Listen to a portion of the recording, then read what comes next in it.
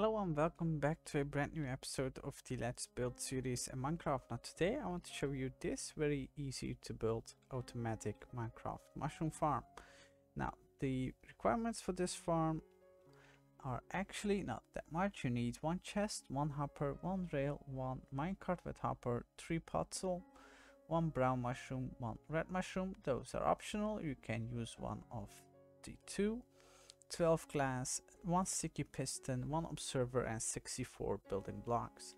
Now let's get started. First place a chest and a hopper going into that chest.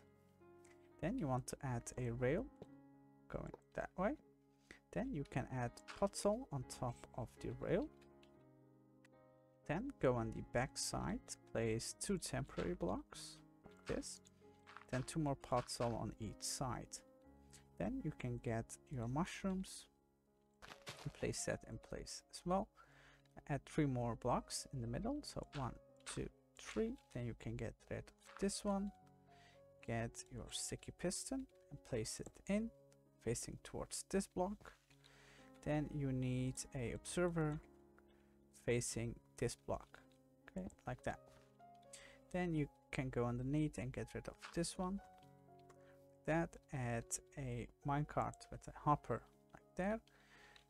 Surround this with some glass as well so that nothing falls off once everything spawns. Now you will get one mushroom every five minutes.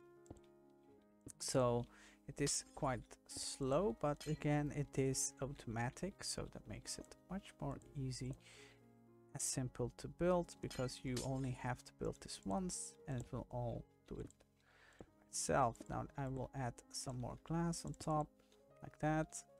Surround this a little bit. And this is actually going to be it. Now I will be decorating this. I see you in a moment. You can see I decided to decorate this a little bit. I think it looks much better than when you leave it like it is. Um, hopefully you enjoyed this one and if you did please leave a like and subscribe. Have a nice day and see you the next time.